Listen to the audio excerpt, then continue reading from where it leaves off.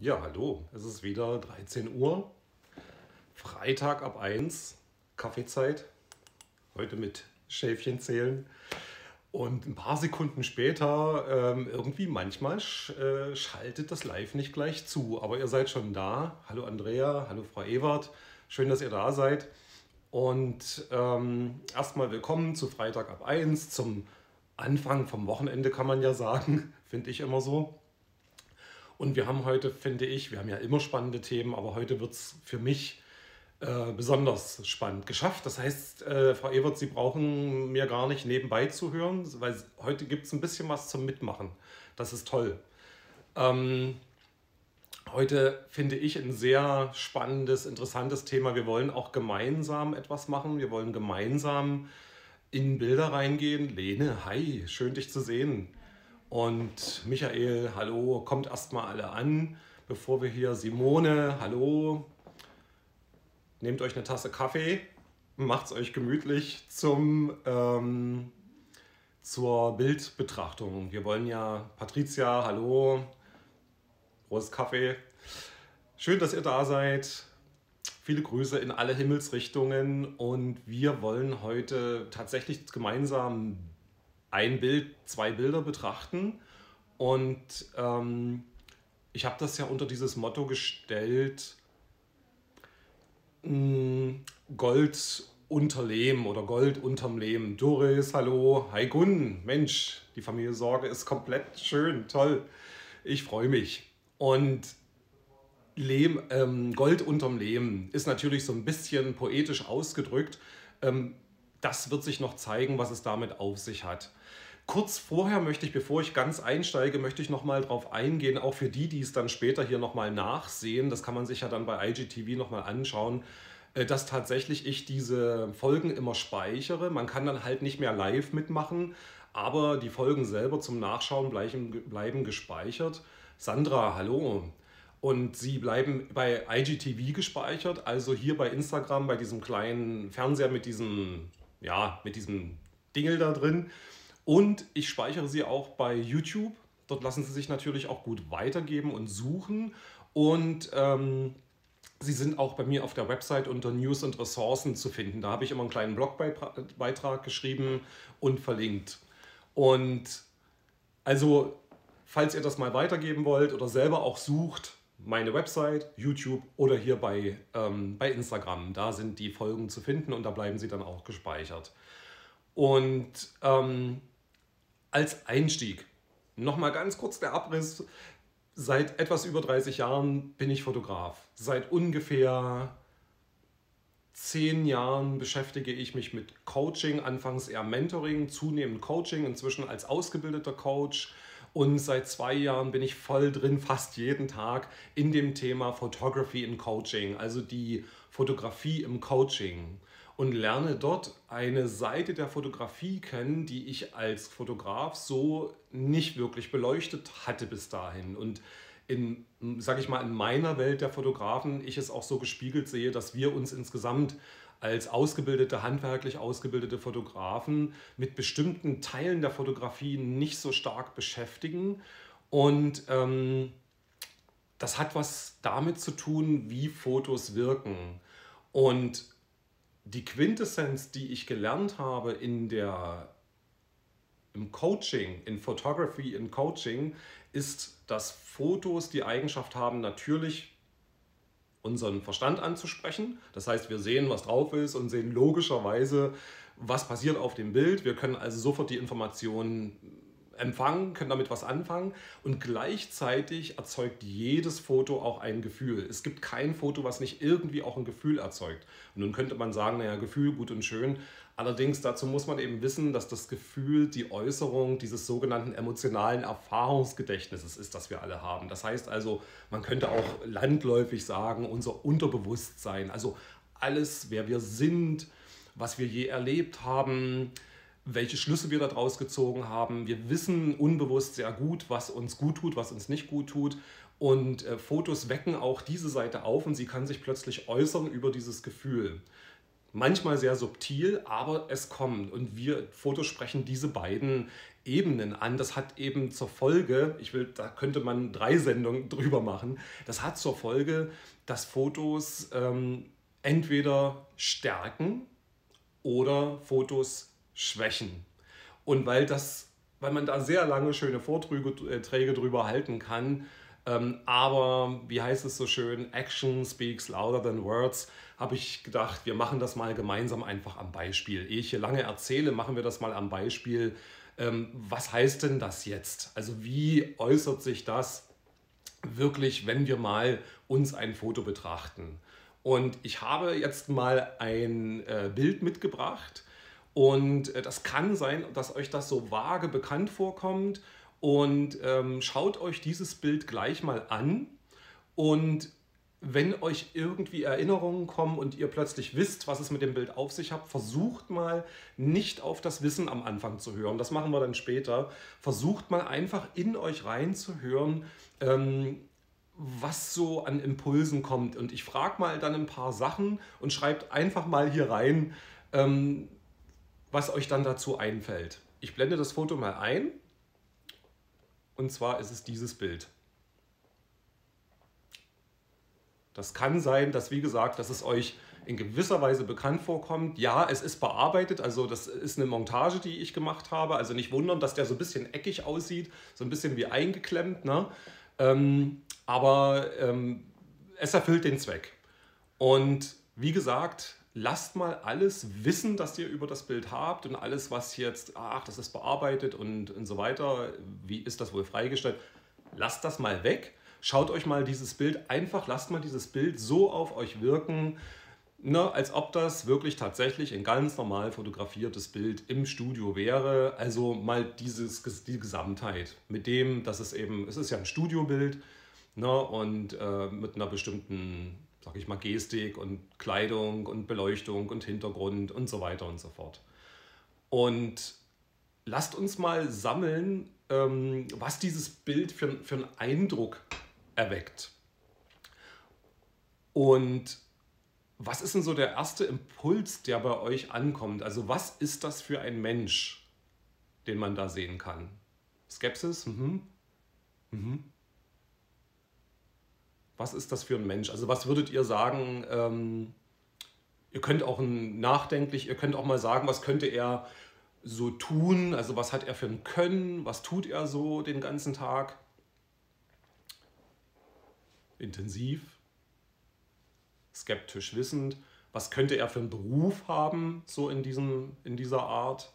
Was könnte er so den Tag über so alles machen? Skeptisch, jetzt kommt ne, nachdenklich, intensiv, skeptisch, wissend, analytisch, prüfender Blick. Welchen, was könnte man ihm, was könnte der so tun damit mit seinem prüfenden Blick? Da fällt, hm? Nee, darum geht es ja gerade, Beate. darum geht es. Versuch mal, das rauszulassen, dass es Steve Jobs ist und versuch mal das Bild mal einfach wirken zu lassen, was da, was einfach über das Bild so ankommt. Mit der Beleuchtung und dem Kontrast und der Kleidung und so weiter. Einfach mal gucken, was so erstmal als erster Impuls da so ankommt.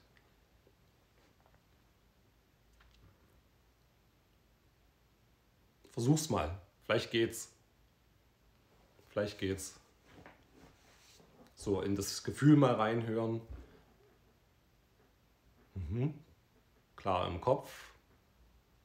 Mhm. Markant.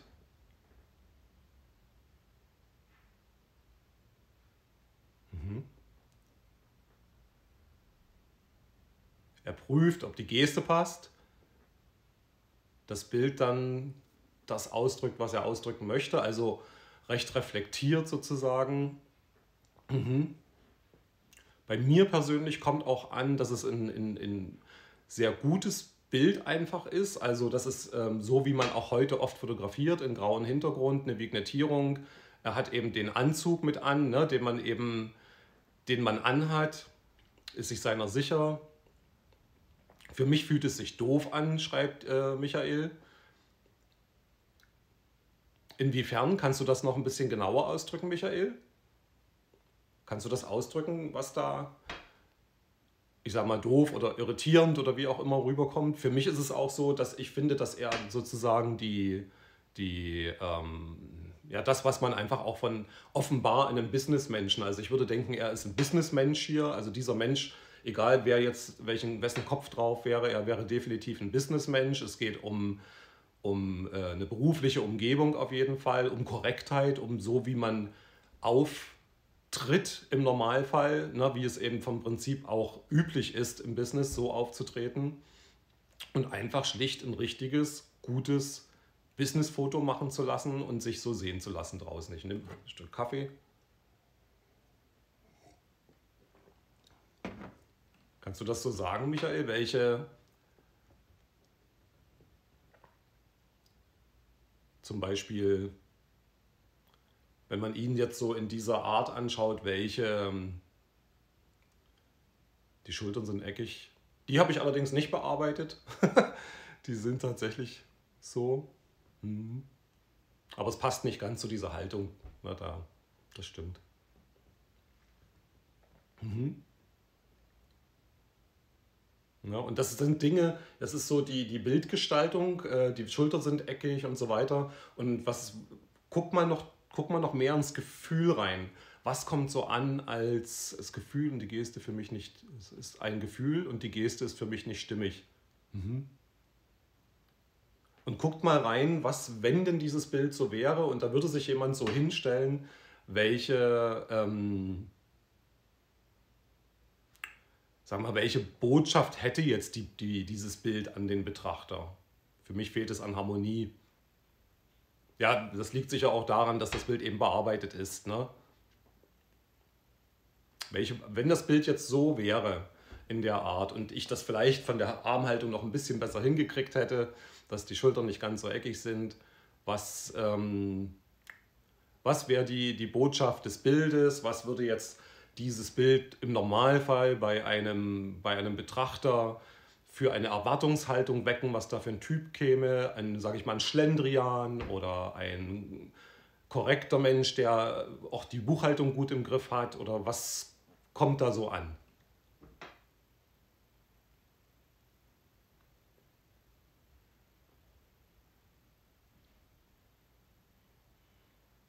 Ich weiß es, du nicht. Ja, äh, Beate, das stimmt, das Bild ist tatsächlich nicht echt, ich habe es montiert. Deswegen nochmal so, versuch mal reinzuhören, ähm, wenn das Bild tatsächlich in einer ähnlichen Art und Weise fotografiert wäre. Ne? Gefestigter Mann, der sich seiner sicher ist. Was könnte der für, für Eigenschaften mitbringen, eventuell? Ich glaube, so auch Korrektheit kann ich mir vorstellen.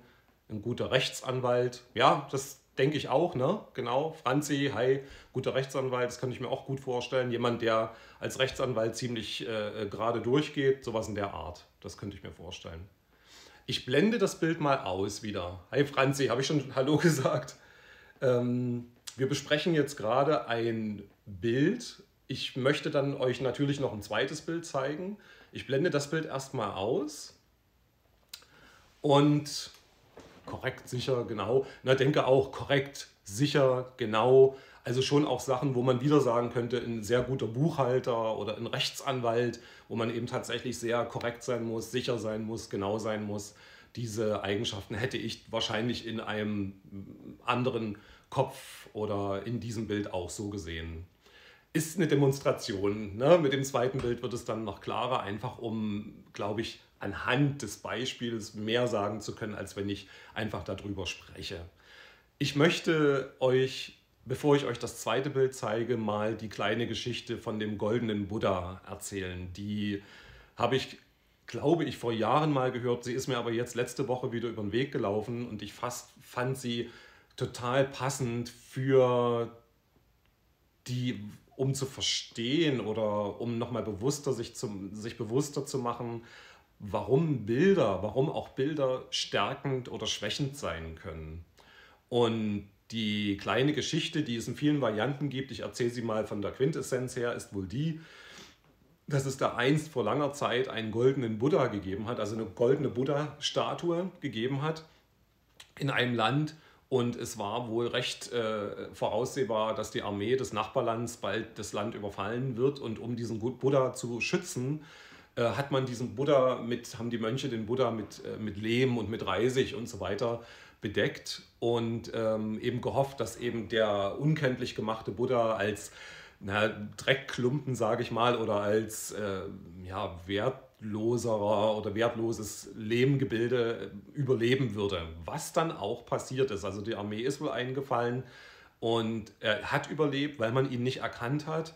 Und, aber man erkannte ihn dann gar nicht mehr. Es muss wohl so gewesen sein, dass die Mönche das wohl nicht überlebt haben. Jedenfalls wusste keiner mehr, dass da dieser Buddha drunter steckt. Und Generationen später, es gibt eine Geschichte, dass das wirklich in Thailand in den 50er Jahren dann so war, ähm, Generationen später ähm, ging es um Umbau und Umzug und äh, jemand hat sich eben um diesen, um diesen Lehmbuddha sozusagen gekümmert und hat sich eben hingesetzt und wollte, dass bei all den Umbauten und so weiter nichts mit diesem Teil passiert, setzt sich dorthin, das muss wohl auch wieder ein Mensch gewesen sein und beobachtet ihn ganz genau und sieht durch so brüchige Lehmstellen, dass da Gold drunter ist. Und natürlich hat er geschaut, was ist da und hat gesehen, dass eben dieses Teil voller Gold ist unten drunter und hat vom Prinzip die gesamte Lehmschicht wurde dann irgendwann mal weggenommen und man sah, dass der gesamte Buddha aus Gold bestand. Und dann war plötzlich nach Generationen dieser goldene Buddha wieder da und das kann man sich, glaube ich, können selbst wir, die wir nicht Buddhisten sind, glaube ich, uns total vorstellen, was das mit so einem Ort auf einmal macht, was das wieder für ein Ort von Gemeinsamkeit gibt, wieder ein Ort von Spirit, ein Ort von Treffen, von Angebundenheit gibt, dieser wieder erstandene goldene Buddha oder der Buddha, in dem wieder der goldene Kern entdeckt wurde sozusagen.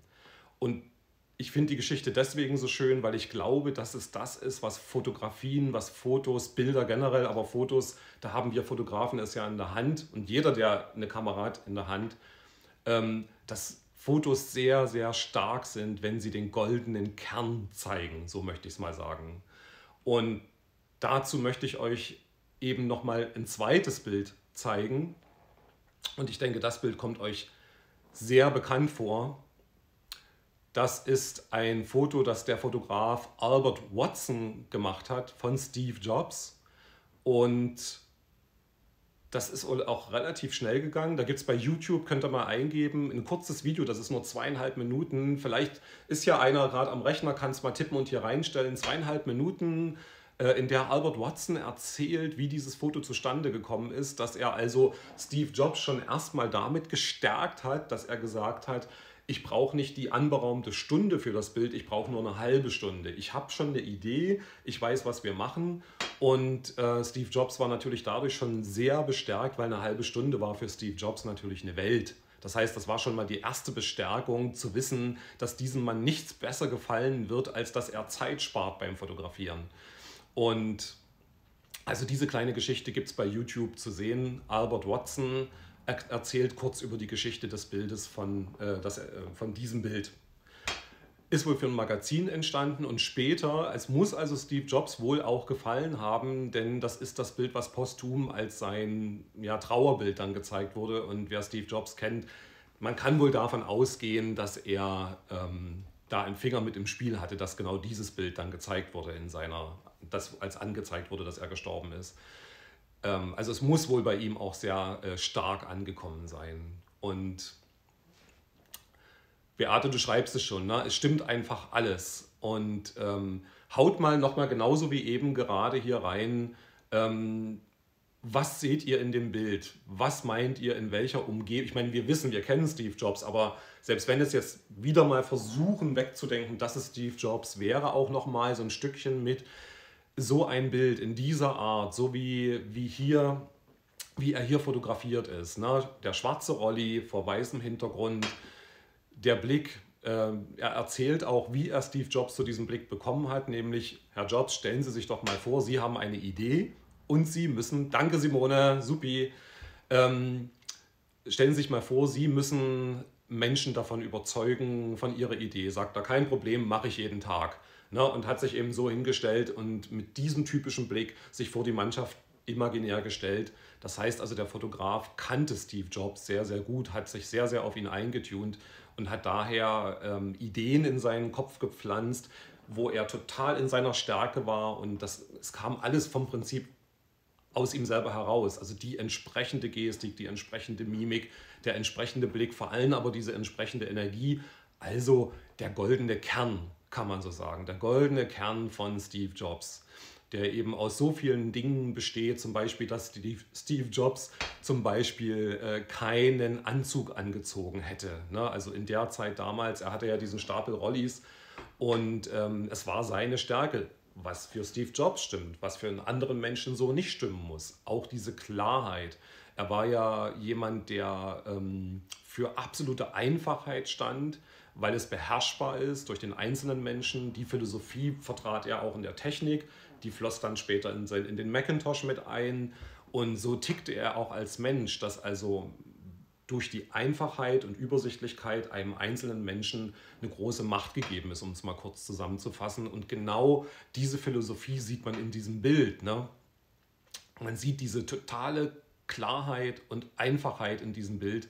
Das heißt also, alles, was man hier sieht, ne, der Blick ist sehr bestimmt, selbstbewusst, Puristen und klar. Also ähm, sagt doch mal vielleicht, was ist für euch so diese Botschaft des Bildes? Wenn ihr dieses Bild sprechen hören würdet, was würde dieses Bild zu euch sprechen? Ja, eine Ikone auf jeden Fall, auf jeden Fall.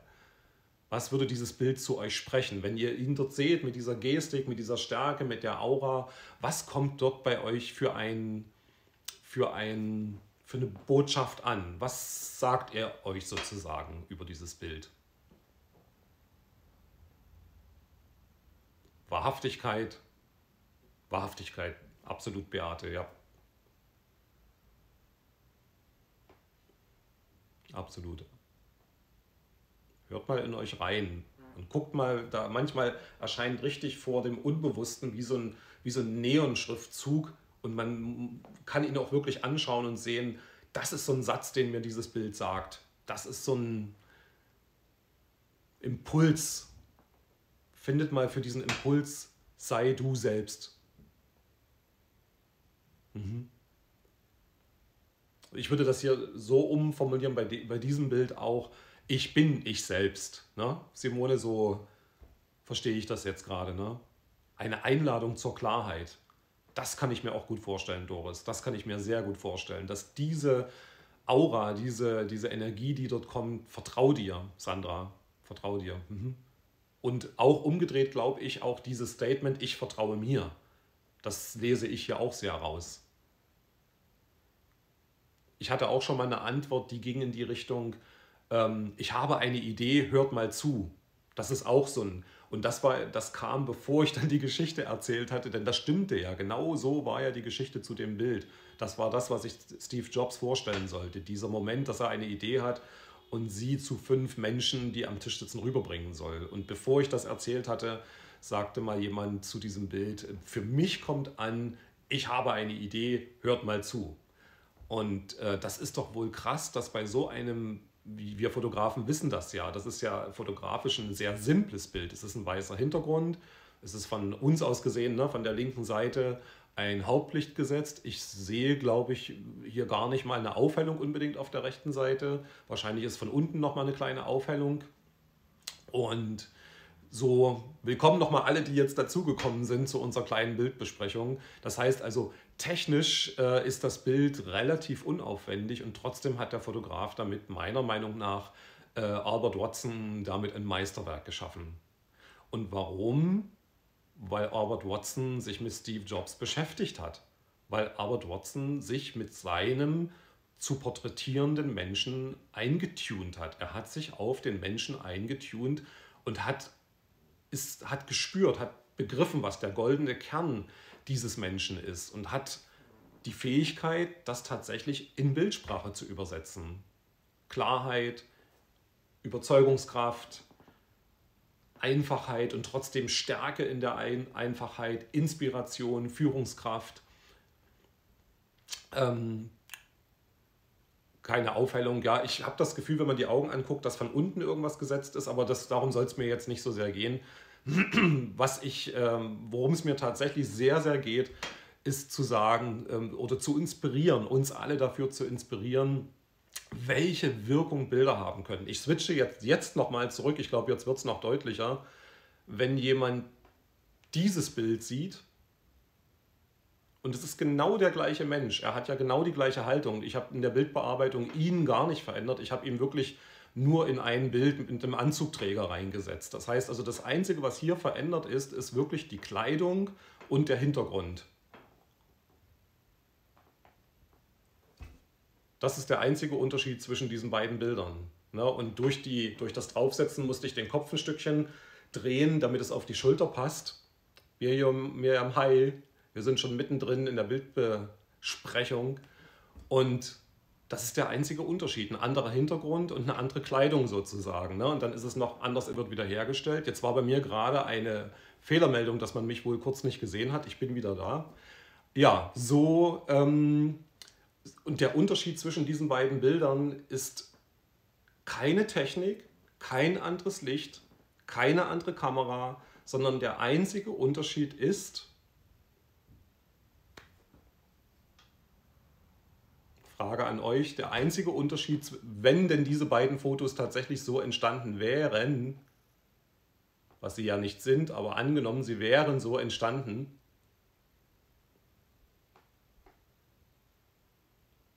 Was wäre dann Kleidung? Und für uns als Fotografen, was wäre für uns als Fotografen die Herangehensweise und was wäre an unserer Herangehensweise unterschiedlich gewesen? Was wäre der quasi einzige Unterschied an unserer Herangehensweise, auf die Persönlichkeit einzugehen, sich einzutun, ne? dass wir tatsächlich auch nicht nur zuhören, was will derjenige, sondern ob das, in, ob das ein goldener Kern ist, ob wir spüren, da stimmt was. Ähm, Beate, du hast vorhin gesagt, Wahrhaftigkeit, ob das wahrhaftig ist, das spüren wir nur. Das können wir nicht wissen, das spüren wir. Und dann kommt so ein Gefühl von Intuition, dass wir etwas wissen, was wir nicht wissen können. Das ist Intuition. Genau, wissen, wer vor der Kamera steht, sich komplett drauf eintunen und tatsächlich spüren, in uns hinein spüren und Menschen diesen Raum eben tatsächlich geben dafür. Das ist auch das, was ich eben nochmal uns fragen möchte. Was bedeutet denn das für, ähm, für jedermann draußen? Was bedeutet das für die Benutzung von Fotos für jedermann? Was,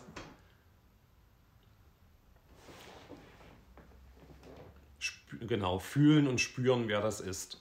Und teilweise, äh, Beate, wunderbar, ne?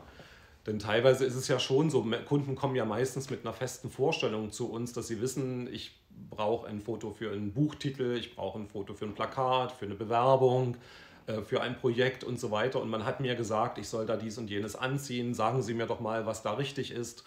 Und der goldene Kern von jedem Menschen ist eben komplett anders. Jeder Mensch ist einmalig und wo bei dem einen der goldene Kern wirklich ist, sich in ein kleines Zimmer einschließen zu können und dort stundenlang über Zahlen zu brüten, zum Beispiel, und das sogar, wenn rundherum ganz viel Gequatsche ist, so ist es eben bei dem anderen wieder diese Führungsstärke, dieses, ich habe eine Idee, ich brauche nur mich dazu, denn Steve Jobs zum Beispiel war ja auch nicht reich geboren, ich brauche da nur mich dazu und kann trotzdem damit die Welt verändern. Und dieser goldene Kern ist bei jedem Menschen anders, das heißt also, Menschen diesen Raum zu geben. Sagt mal, was denkt ihr, was, äh, was wie gesagt, nochmal die Frage, was bedeutet das ähm, für Kunden? Was bedeutet das für jedermann, der mit Fotos umgeht, wenn man denn das weiß? Mit wie, wie schnell ein Foto von einem eher schwächenden Foto zu einem total stärkendes, stärkenden Foto werden kann. Zu einem Bild, was bei dem Betrachter eine krass klare, starke, richtige Erwartungshaltung weckt was bedeutet das für Menschen, die, die die Bilder einsetzen? Das machen wir ja quasi alle. Wir fast alle Business Owner haben eine Website. Wir alle nutzen entweder Instagram oder Facebook oder irgendwie gehen wir ja fast alle heutzutage mit Bildern um und mit vielen Bildern um. Was bedeutet das? für Menschen, für quasi uns alle, für jedermann, der mit Bildern umgeht.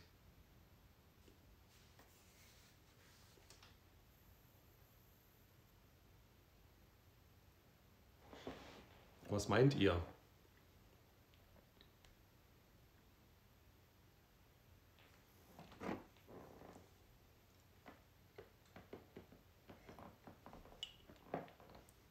Mhm. Ich hoffe, die Verbindung ist noch da. Es ist so ruhig jetzt gerade.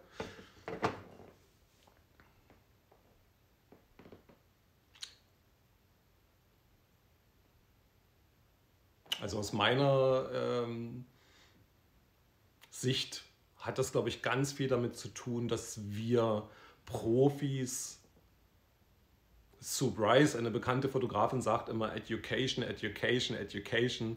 Also tatsächlich viel darüber zu sprechen, dass Fotos tatsächlich diese Wirkung haben.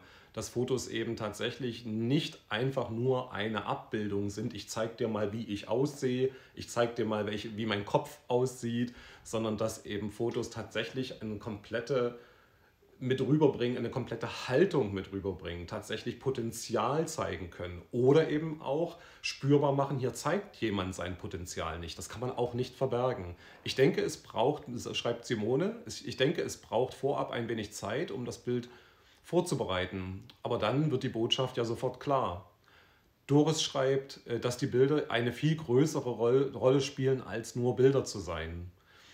Und ich denke, das ist etwas, was wir immer wieder weitergeben können, wo wir immer wieder genau äh, dazu inspirieren können, ähm, dass eben Bilder, Fotos im sowieso im Besonderen, weil Fotos eben so lebendig, so schnell auch im Leben gemacht werden können, im Gegensatz zu, einem, zu einer Illustration oder einem Gemälde, das ja auch Bilder sind, aber die Fotografie ist eben wirklich mitten im Leben machbar. Ne, man kann jeden Moment nutzen, um zu schauen, dokumentiere ich das jetzt als einen Moment von Wahrheit, Wahrhaftigkeit, des goldenen Kerns. Und ja, und das eben Menschen immer wieder zu erzählen, bewusst zu machen. Und das ist ja so eine wunderbare, frohe Botschaft, finde ich. Ne? Weil was bedeutet denn das, wenn man auf einer Website, man macht eine jemand, weiß was ich, fängt an, ein Seifensieder zu werden, weil er einfach diese vielen Schlieren in der Seife toll findet und tolle Düfte und macht eine kleine Website bei Wix oder Jimdo, macht sich ganz einfach und nimmt dann irgendein Stockfoto drauf.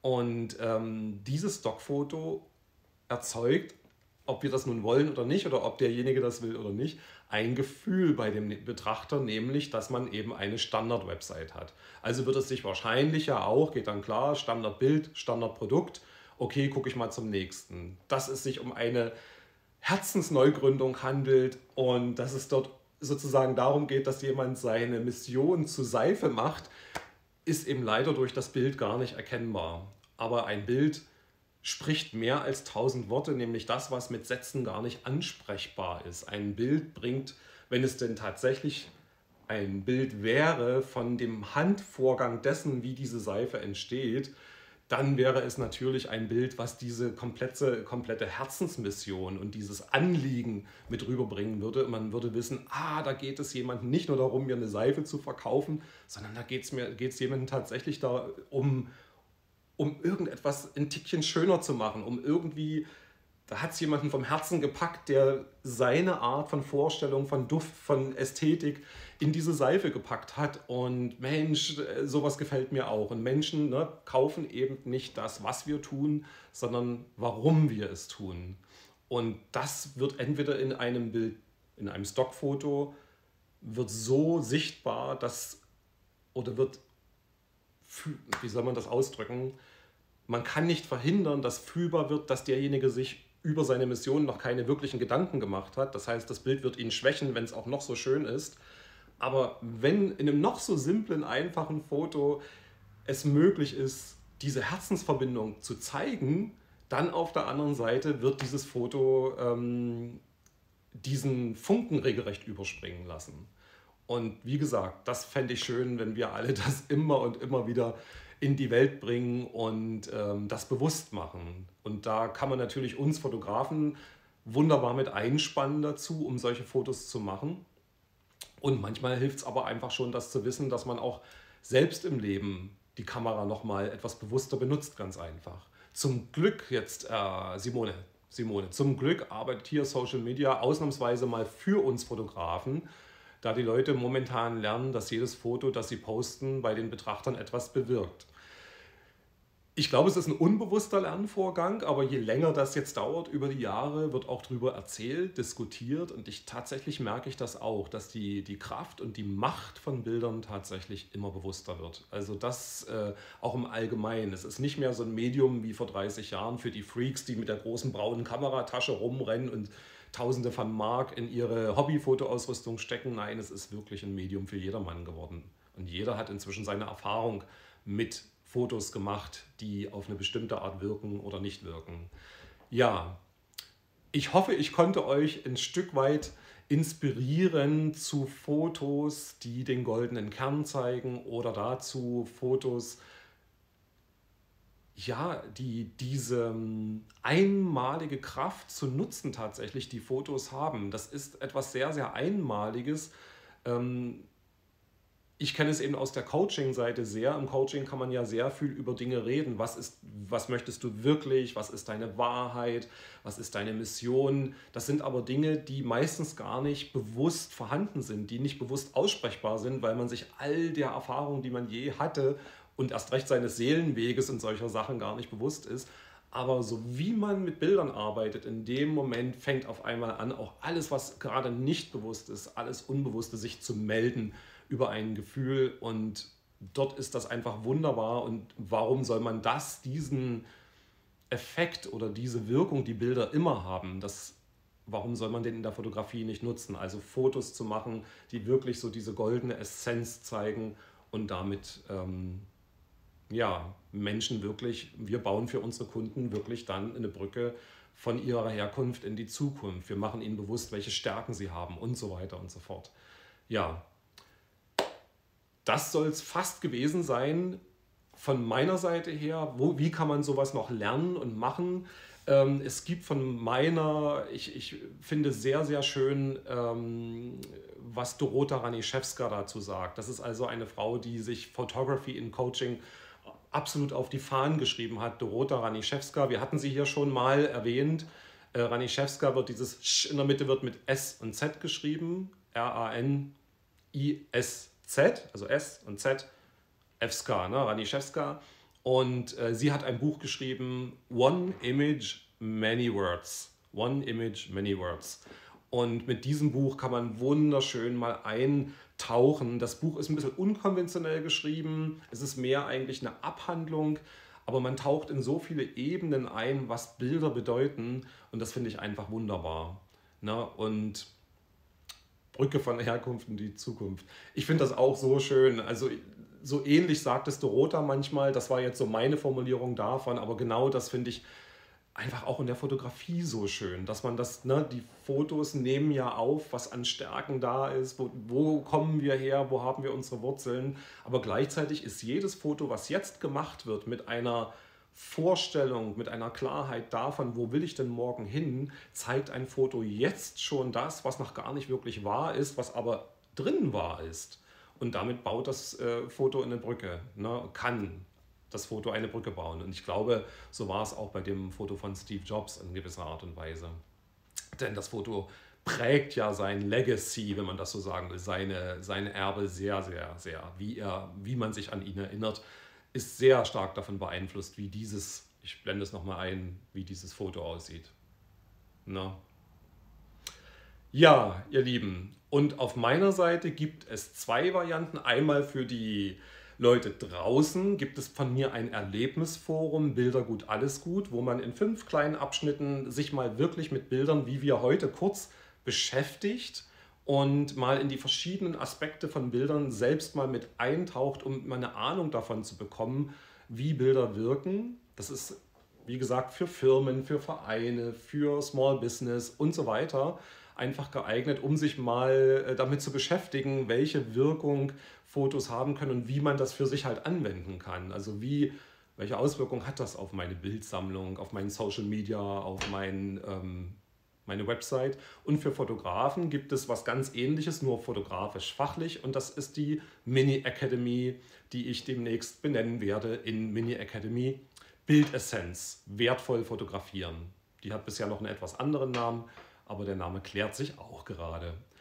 Ja, die, da finden gerade zwei statt. Eine ist abgeschlossen für den BPP. Jetzt gibt es die äh, nächste Mini-Akademie gerade in der Schweiz und die nächste dann wird kommen. Da werde ich, das werdet ihr erfahren, wenn ihr da Interesse dran habt. Könnt auch immer mal auf meiner Website schauen, larsneumann.coach.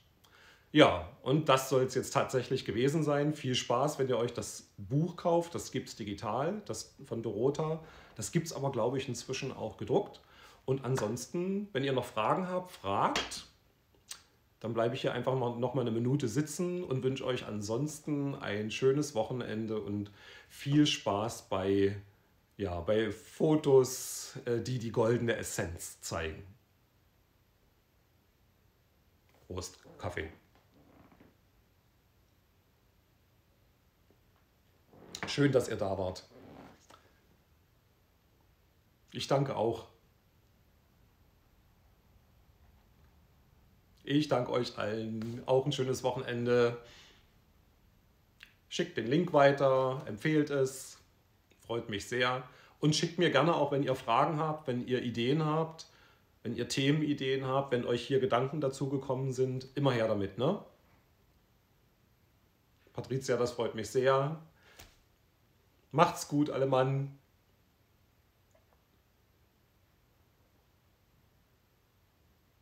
Schönes Wochenende an die Mosel.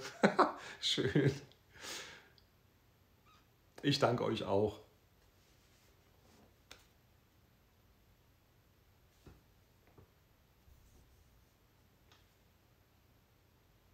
Ciao. So, ich mache jetzt aus.